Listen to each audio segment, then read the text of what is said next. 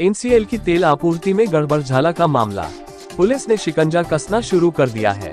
NCL के पाँच कर्मचारी समेत 18 लोगों पर गैंगस्टर का मुकदमा दर्ज है। पुलिस ने गैंगस्टर के आरोपियों की चल अचल संपत्ति की जाँच शुरू कर दी है।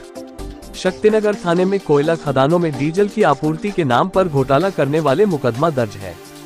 खबर जगत के लिए सोनभद्र से मनोज सिंह राणा की रिपोर्ट।